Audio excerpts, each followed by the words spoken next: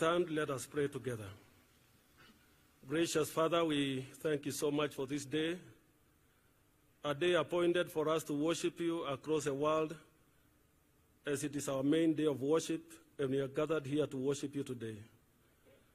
A day we are also gathered as a diocese of Eldoret to celebrate the journey you walked with them in the last 40 years. A journey, O oh God, that has seen the growth and the strides the diocese has made since then. We celebrate you, our God, for you have been their Ebenezer this far, you have brought them. It's also a day, O oh God, that you have been joined by all our guests, including your servant, the servant of this nation, His Excellency the President, William Ruto and Mama Rachel, who have come to join us with all other leaders in our nation as we worship you. Lord, this moment is your moment with us to speak to us your word, the word of life, that we may live. So use me as you will. Reach our hearts and our minds as we explore and expound your word. This we pray in Jesus' name. Amen. Please let us be seated. Your Excellency, the President of the Republic of Kenya, Honorable Daktari William Samoei Ruto, Her Excellency Mama Rachel Ruto, Your Excellency the Governor of this county, and your wife, all cabinet secretaries present, all elected leaders, and all proto protocol observed. I take this moment to greet you all and all our worshippers and Christians and our bishops in the name of our Lord and Savior Jesus Christ. Good morning. Praise the Lord. Bwana Yesu asifiwe. Ilos not Yesu. Mwathani arogocwo. Opak ruoth. Imwami sombwe. Meisisi Yesu. Tunashukuru Mungu kwa nafasi hii. Your Excellency, we are so, so honored as a church to invite you and for you to honor our invitation to come and join us in this great celebration of a diocese that has been in existence for the last 40 years, preaching the gospel and uh, impacting lives in this area in a big way. We thank you for honoring this great day with your presence, but also giving all the support that this church needs and has always needed. You have always been with us. You visited many of our dioceses, our congregations across the country uh, before you became the president and even now. We thank you so much. We want to thank all those who have come to join us from other denominations and from across the world because we have people who have come to be with us from far and wide. Your Excellency, as the Bishop said, I, I came here on Tuesday. We have traversed the Diocese of Eldoret, various parishes, and we really thank God for the opportunity to be able to minister and uh, to do God's work and join them what God has already been doing through them. Part of it is planting trees, and I want to uh, uh, thank you, Your Excellency, for the initiative for planting uh, 15 billion trees in 10 years. As a church, we have what we call the Green Anglican Movement. And we have teamed up with Mangasa Light. And now we have Green Champions. The other week, I was in Mbere, and we planted many trees. It was a bit dry there, so we are struggling to, to, to water them. And we are saying we don't want only to, to plant, we want to grow. And uh, so far, the Anglican Church has planted 3 million trees. Our aim by 2026, when we are celebrating our year of ecology, according to our decade strategy, because we have a 10-year decade strategy, we will be planting 15 million trees. Just a fraction of what you have imagined in this country. So we will make a little of our contribution. We have adopted sections of the forest in this country. One of them is Ngong Forest. We have a section dedicated for the Anglican Church to grow trees, and we thank uh, the Kenya Forest Department, and we're working very, very closely with other regions so that we can be able to participate in uh, bettering the ecology and our environment.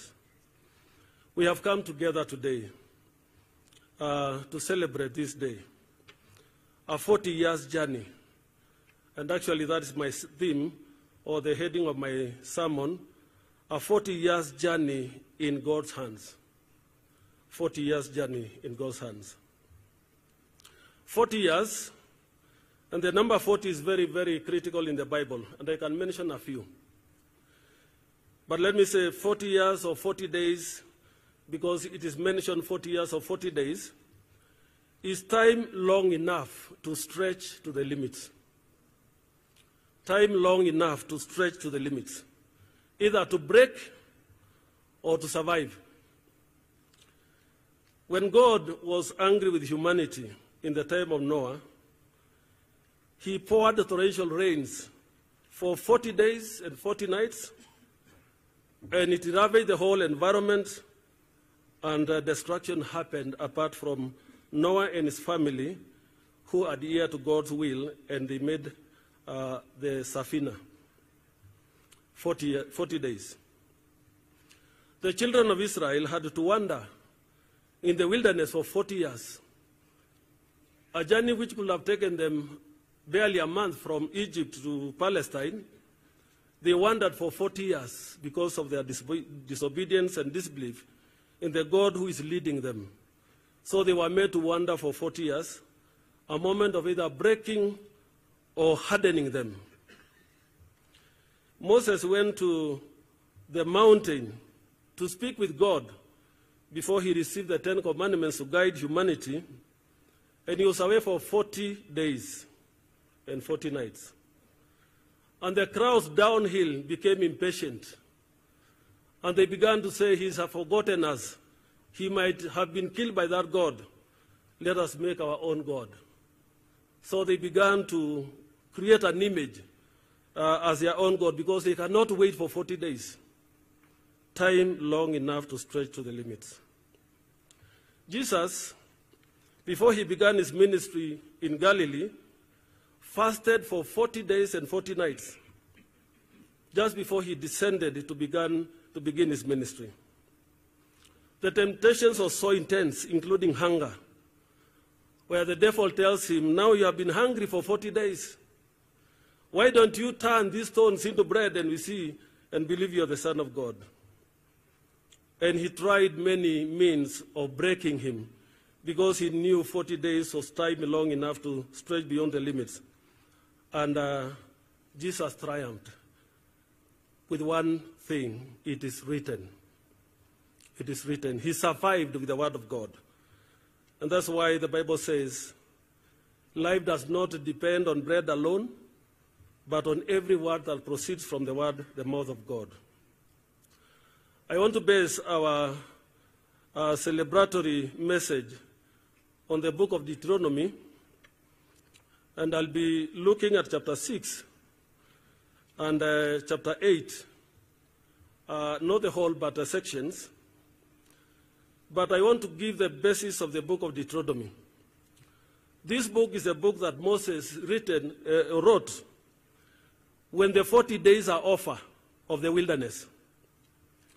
And the whole camp of Israel is now ready to get into the promised land. But he halted in the, you know, in the desert of Paran and gathered them and said, Before you enter the land, I want to prepare you well. Because 40 years are over. You have been stretched beyond the limit, but a new beginning is dawning. And he wanted to prepare them how to survive the promised land after hardship and a hard moment. And I want to begin by what he said is most critical and important for their journey into the future. Chapter 6, verse 4 to 9, we read these words Hear, O Israel, the Lord is our God. The Lord is one, not two. You shall love the Lord your God with all your hearts, and with all your soul, and with all your might. Keep these words that I am commanding you today in your heart. Recite them to your children, and talk about them when you are at home and when you are away, when you lie down and when you rise up. Bind them as a sign of your hand on your hand. Fix them as an emblem on your foreheads, and write them on the doorpost of your houses and on your gates. The basis of our Christian faith is to experience the love of God and to reciprocate that very love by loving Him. So, the denominator is how do we define love?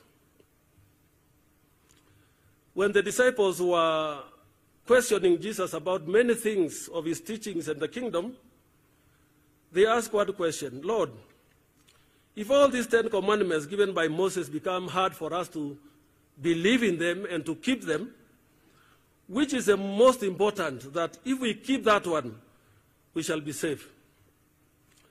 And the Lord says, the one that summarizes the Ten Commandments, he drew from these words Love your God with all your heart, all your soul, all your mind, all your might.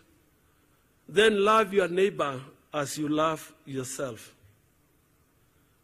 So he says, love is the foundations of all other commandments. For if you love, you'll not kill.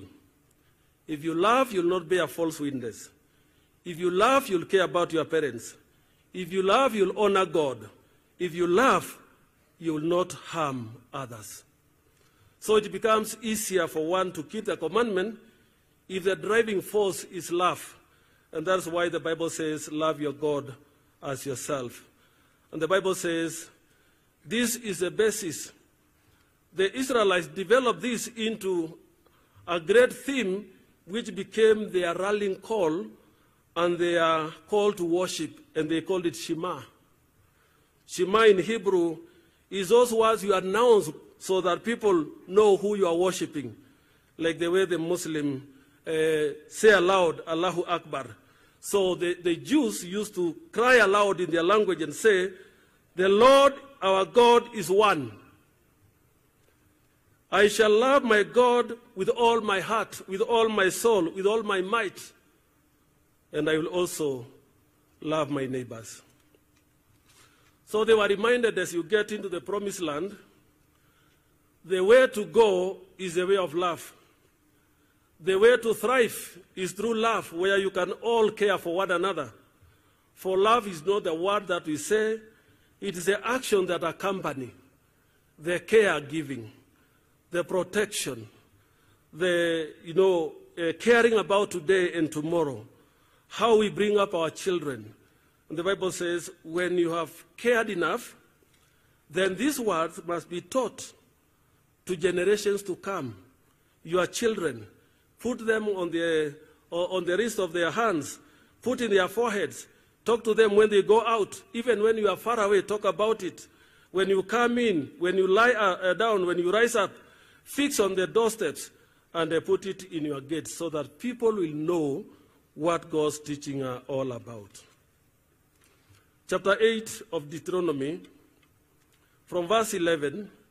Now, he began to prepare a nation that was coming out of slavery, a nation that has never owned property, a nation that has never known freedom, a nation that has never known to manage their own public affairs.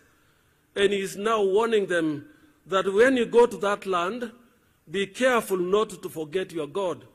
And uh, because you know, Your Excellency, we have finished the first part of our service, including this reading. It has been read to people, but let me read now that you are here so that we hear what the Bible is telling us. Verse 11 Take care that you do not forget the Lord your God by failing to keep his commandments, his ordinances, and his statutes.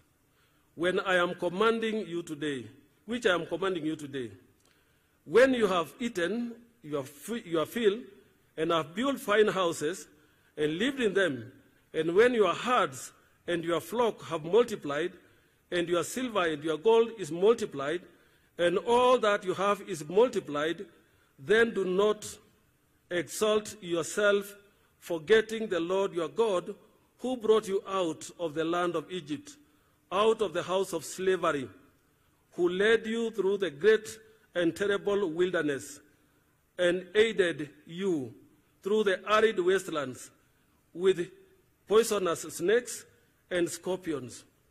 He made water for, you from a flint rock and fed you with manna in the wilderness and your ancestors.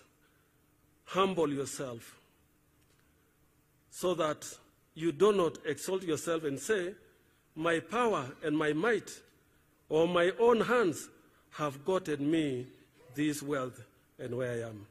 But remember the Lord your God.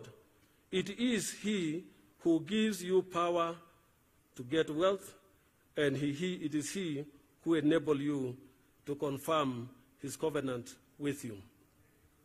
What the word is asking us today is in the moment we have, because we are all passing by, let us follow His commandments.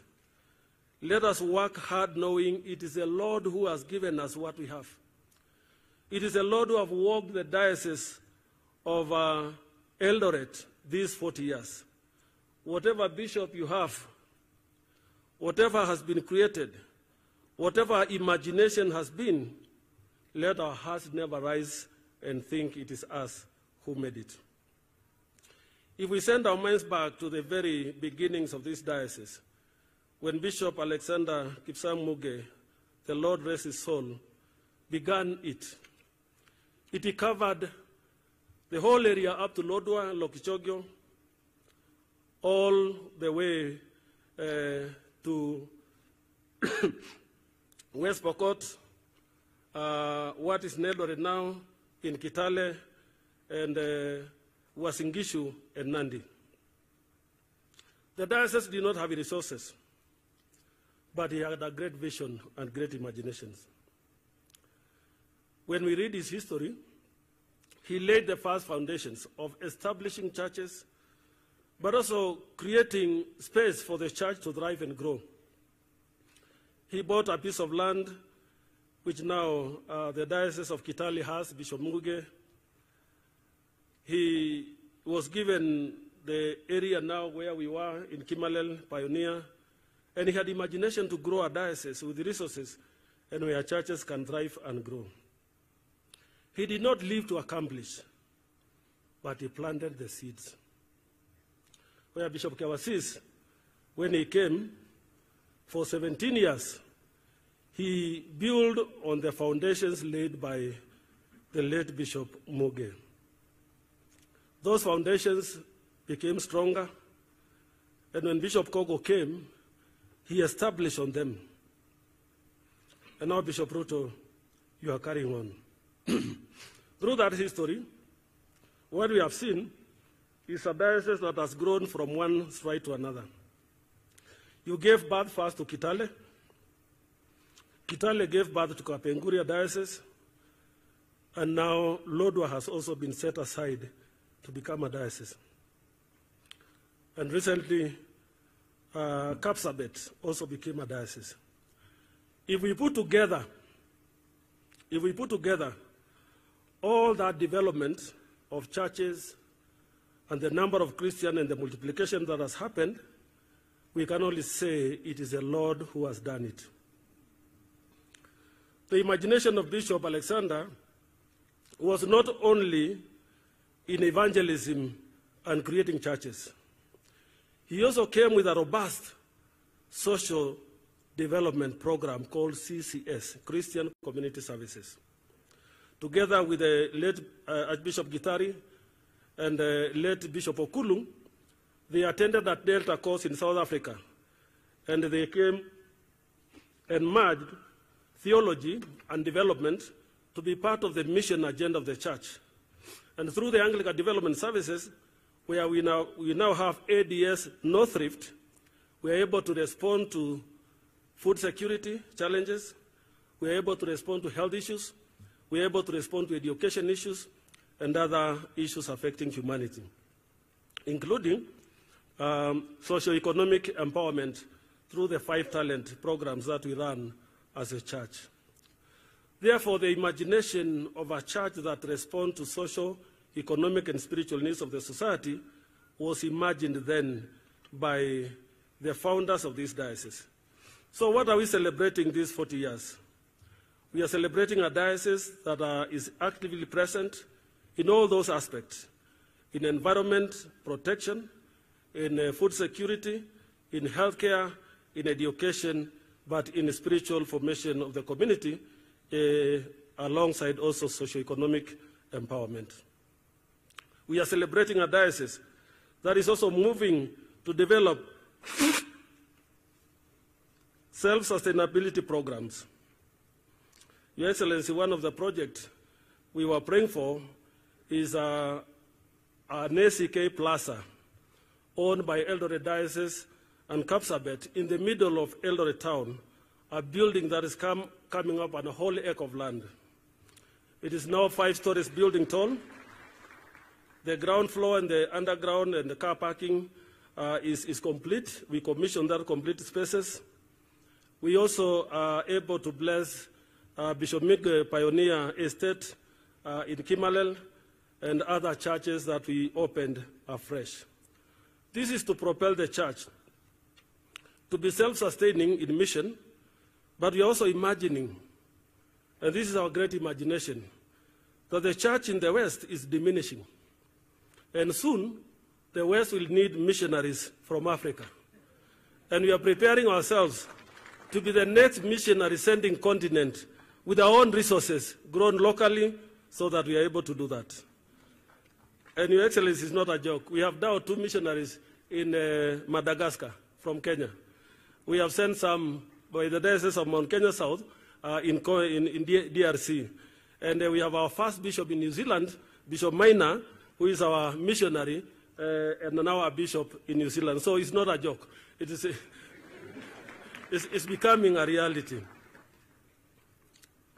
So we are celebrating milestones of the Diocese of uh, Eldoret.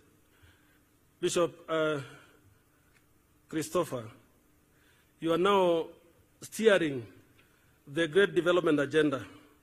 And when I worked with you these uh, few days, I said the diocese is now ready for an explosion.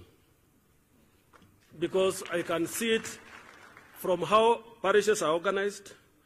I was in Kapsabet last month for five days. And I was also seeing an explosion in Kapsabet. We opened eight new churches, big ones, in the rural communities.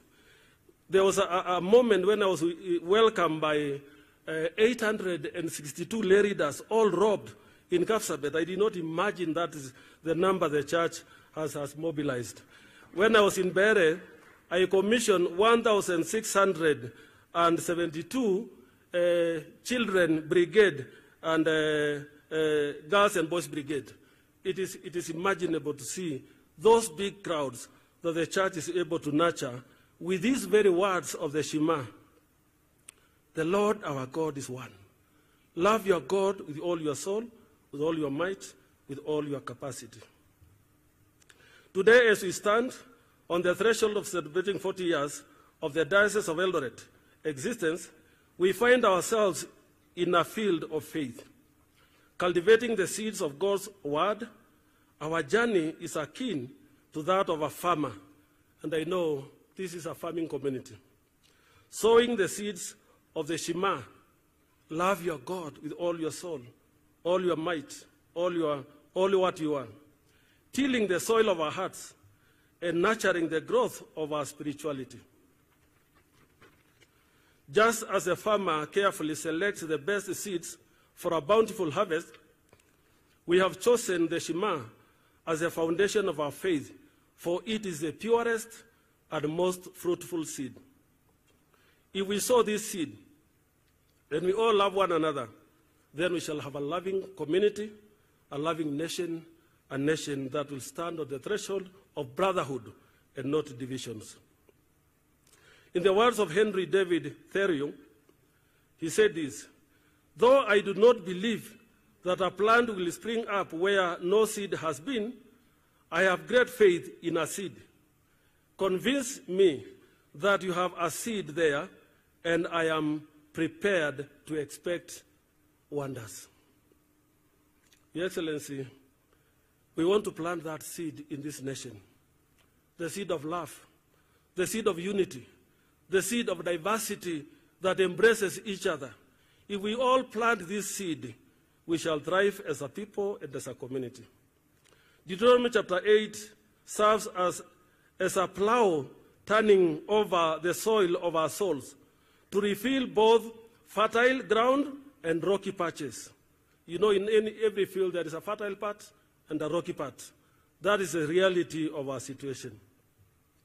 Just as a farmer must address the challenges of the land, we must also confront our own spiritual obstacles, such as hatred, because they cannot coexist with love, jealousy, and things that uh, divide us, for they cannot coexist with love. But as Proverbs chapter 20, verse 4 reminds us, the sluggard does no who does not plow in the autumn, he will seek at harvest and have nothing. We plow now, for our spiritual harvest depends on the efforts we put into the soil of our hearts. So as we celebrate 40 years, that time is now behind us. We must begin to imagine the next 40 years. And the seed we plant today will say what we shall become tomorrow. The seed we put on the ground today will say what church will we have tomorrow. The story of the Diocese of Eldoret is like a, a farmstead, a place where diligent hands have toiled tirelessly to bring forth a bountiful crop of faith. Just as a farmer labors is never done, our mission to love and to serve God continues, and that is what will guarantee a harvest. Not just in our time, but a harvest in generations to come, that the Lord will still find her, his church alive. As we look forward for the next 40 years, let us heed the words of Victor Hugo, who opens, he said, whoever opens a school or school door closes the prison doors. Whoever opens the school doors closes the prison doors. We are like educators, planting the seed of knowledge and faith in the minds of our young people so that they, never, they will never be imprisoned by ignorance, doubt, or poverty. For education empowers. When we put our mind in educating in the church and in the community, inculcating the right values, we shall have a better society tomorrow. In closing, let us remember the wisdom of the Chinese proverb when you drink from the stream, remember the spring. We have, remember the spring we have sipped from. And our stream is we have eh, sipped from the spring of God's blessings for the last 40 years. We must never forget the divine spring for which it flows. Lastly, as we carry our hearts to God, let us also remember the words of C.S. Lewis. This is one of the best Christian apologetic or defenders of the Christian faith. And he said this Hardship often prepares an ordinary person for extraordinary destiny. Hardship. Your Excellency, this resonates with the situation Kenya is today. You have come to this country at a time where the economy uh, has been affected by external pressures and also internal pressures. And I know you are every day thinking about how do we come out of this. It is in your heart, it is in your energy, we see it every day. But remember, uh, John C. Mason also said, leaders are not born, neither are they made. None of us is born a leader or made a leader. You know, I had a problem understanding what he was trying to say. But this is what he said. Leaders are summoned by circumstances. Whoever step out and address the most immediate need and change it for better naturally becomes a leader. So, and all leaders are made by hard moments and hard times. If you go down into history, every renowned leader was made out of hard, hard moments. So we pray for you and pray for the nation. And uh, be assured this is one church that does not even have the luxury of not praying for the nation because it is in our liturgy. It is not when we remember, but it is when we gather to pray, we must mention the name of the president because it is in our liturgy. You know, some pray when they remember, but to us, it's not when we remember, it is it's embedded in our liturgy. But uh, let me also say, planning is critical, and uh, we really need careful planning for the future. I have seen uh, something that I want to sound Your Excellency as an alarm, and don't get worried. Uh, it's not very popular with politicians. You know, we have been now mobilizing, and I've seen us mobilizing each community to give birth and mass. And uh, everywhere I go, uh, and it started na mzee wetu Olentimama, aliwaambia Wamasai, mtoto akifikisha meno mbili ongeza ingine. Alafu akaendelea akasema, uh, si meno mbili tena, gambi kikuwa tu ngumu kidogo, ongeza ingine. Incidentally, I became a student because I have seven. But I want us to sound, to, to sound an alarm that you know, Your Excellency, the pressure we have now as a nation, we have a very young population where half of the nation are dependent. It is children between zero and university. They are not in the production stage, but that's where the heaviest budget of your budget goes to. The other group are the elderly, whom we really thank you for, you know, giving them something, uh, anybody above 70 in the country.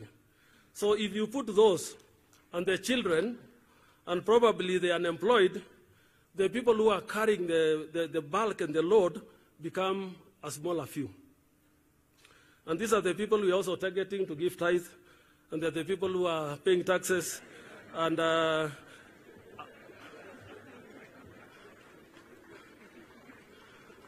And if we continue adding more children, we shall have more dependents who will have a heavier part of your budget, which now, you know, education is carrying the heaviest part of the budget, healthcare is carrying the heaviest part of the budget. So I think we need to begin a crusade, waine, so that we are able to manage in posterity. Uh, I know for politicians, numbers is what we want. Uh, but we also need numbers that are manageable and numbers that can be able to be planned within the resources that we have. May the Lord bless us together, and may God bless the Diocese of Eldoret as we continue to celebrate the 40th anniversary. Asanteni, Bwana wabariki, tuombe. Tusema asante Baba wa kwa nafasi hii umetupa tujumuike kusherekea kazi na maendeleo ya uaskofu wa Eldoret na kusherekea amani uliotupa katika nchi yetu na kusherekea maisha ya kila mmoja wetu. Mungu, angazia maisha yetu iliyo mbele, utubariki, kutuhifadhi na kutuongoza panapo uwepo wapo. Haya yote tuomba kwa imani kwa Yesu Kristo Bwana wetu, amen.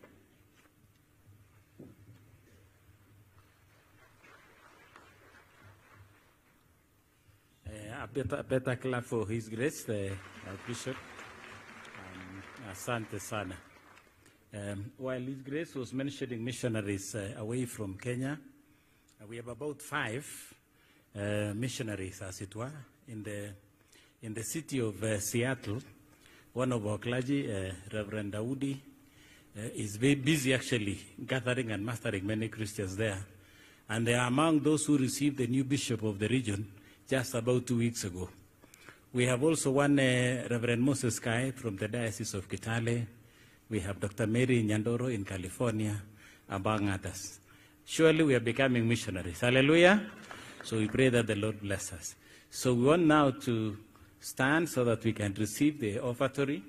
Uh, sorry, may we may sit. Let me ask the choir of, um, um, I think, St. Andrews, St. Andrews to, to sing for us as we receive our offertory. Usually, offerings are a response to the word of God when we hear it. So, karibuni uh, choir of St. Andrews. Thank Uh, you, Bishop. Thank you, Bishop, for that. We shall repeat the